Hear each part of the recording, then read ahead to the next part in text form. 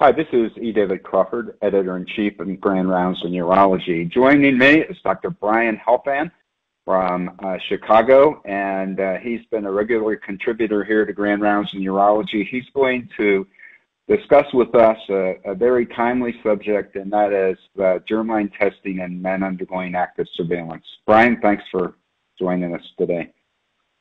Thank you much uh, for having me, Dr. Crawford, and uh, always happy to talk about uh, the importance of germline testing for men in prostate cancer and more recently in active surveillance.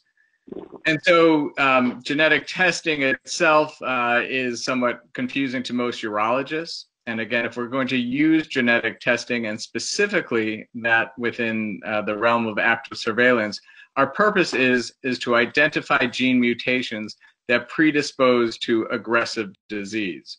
And although we've heard a lot about mutations that increase uh, or are responsive uh, to certain medications, including PARP inhibitors, not all of those mutations will actually predispose to aggressive disease.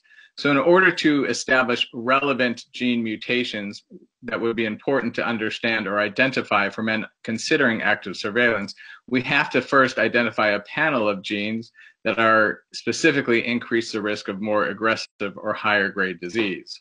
And this is one of many studies uh, that evaluated a panel of DNA uh, repair mutations among, among men who underwent surgery. And this particular uh, study uh, included about 1,700 men with prostate cancer who underwent surgery at Johns Hopkins, and all pathology was evaluated by a single pathologist. All uh, men were sequenced for 13 genes, uh, including many DNA repair genes. And we ultimately compared those uh, gene mutations with the ultimate uh, final surgical pathology. And we specifically looked at men who had low grade cancer and compared them to men who had high grade, grade group four or five disease. And as you can see here, the summary shows that men who had either an ATM, BRCA2, or MSH2 mutation uh, had increased risk of having not only higher grade disease, but specifically grade group 5 cancer, even compared to grade group 4, which argues that these gene mutations not only predispose to higher grade disease, but actually the most uh, aggressive type of disease we know, saying that they potentially have worse biology underlying it.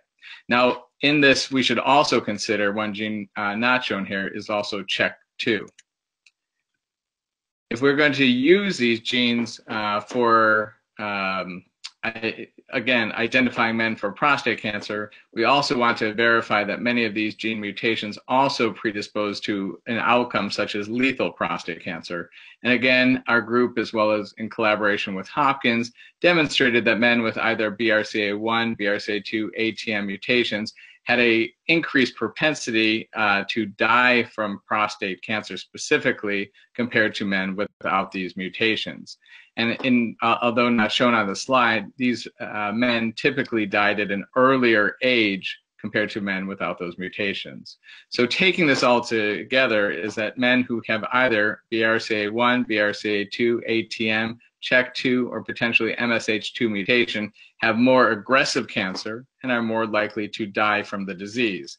And when we specifically look um, in their performance in active surveillance, we see, not surprisingly, that these men don't fare as well. Meaning, if we look at men uh, in either a Hopkins or North Shore University uh, active surveillance protocol, we see that men who have germline mutations for either ATM, BRCA1, or BRCA2 had an increased rate of being recategorized to higher grade cancer over time. And again, men with these mutations seem to fail or be recategorized at earlier time points compared to those. These graphs in particular demonstrate that men with any of these mutations um, had not only when they were recategorized, they were significantly more likely to be recategorized into grade group three or higher, which again supports that they predispose to uh, higher grade or more aggressive cancer.